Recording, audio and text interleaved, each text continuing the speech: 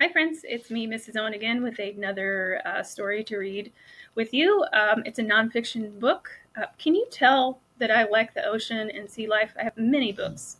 Um, and, in fact, I like it so much that when I woke up from my nap, this was on my back. Can you see that? What is that? Oh my goodness. It's a shark's dorsal fin. How did that happen? Okay, so sharks have two dorsal fins. Um, this is the larger of the two. It grows on the very top of their back, and it's the one that comes out of the water uh, when they are coming to the surface. And the, the second dorsal fin that they have is right before their tail. So pretty cool. Um, well, I'm just teasing. No, uh, my son was a shark one year for Halloween, so we saved it, and I thought it would be fun uh, to help me read this book to you. Uh, Big Sharks by Tori Kosara. Big sharks. Did you know that sharks are a type of fish? They have gills like other fish do. Sharks' gills work like filters to help them take in oxygen from the water so they can breathe. Most fish have bones, but shark skeletons are made of cartilage instead. Cartilage is strong but softer than bone. This flexibility helps sharks hunt because they can move easily through the water. So we have cartilage too, like in our nose and in our ears. Um, so it says, why do you think sharks need to be able to move quickly? Take a second think about that. Okay, so sharks need to be able to move quickly, not only for the water to run over their gills so they could breathe in the water, but they also need to be able to catch the prey. And fish are very fast. Most sharks are carnivores. That means they eat meat, such as smaller fish, seals, dolphins, and even seagulls, with their sharp teeth. Sharks have super senses to help them. A shark can hear very low sounds like swimming and splashing underwater and can even feel the movement of its prey. So remember, prey are the types of food that this predator, like a shark, eats. So seals, seagulls, uh, fish. What other senses do you think help sharks hunt? So here they're showing you where the shark's ears are.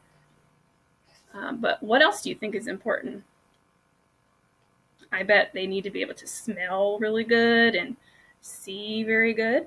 So they have noses and eyes and ears like we do. Whoa, sharks have a lot of teeth. Their teeth are in layers, so if any tooth breaks off, a new one can take its place right away. Certain sharks can have up to 4,000 teeth in their mouth at a time, but only the front row is used for eating. Almost all sharks have skin that feel like sandpaper. Instead of fish scales, sharks have skin made of denticles. Denticles feel like sharp, hard teeth. A shark's rough skin protects it from getting hurt. And then the question is Do you think a fish's scales feel hard like a shark's or smooth and slippery? What do you think? So I just learned from reading um, here that sharks have denticles, which feel like small, sharp teeth, um, whereas fish have scales. So I'm going to guess that fish are slimy, slippery. Okay, and then here they're showing you uh, a whale shark skin. So it's covered in spots. And here's a whale shark. And although it's called a whale shark, it is not a whale. It is a shark, and it's one of the biggest fish that live in the ocean. And what's something fascinating about these guys is they're not like other sharks in that they don't eat um, other fish. They are filter feeders, so they open their really big mouth and they just suck all the water in and they take the nutrients from the water. Sharks live in salt water. Some kinds of sharks like to live in warmer oceans, while others live where it is cold. Most sharks live to be about 25 years old. The short fin mako is the fastest shark on the planet. It can reach speeds of up to 20 miles an hour. So I put the mako shark in our um, slideshow presentation from our Zoom meeting this morning. So they go really fast. The largest shark is the whale shark. A whale shark can measure up to 60 feet long, making it the biggest fish in the ocean. The deepest sorry, the deep water dogfish is one of the world's smallest sharks found in the Caribbean Sea.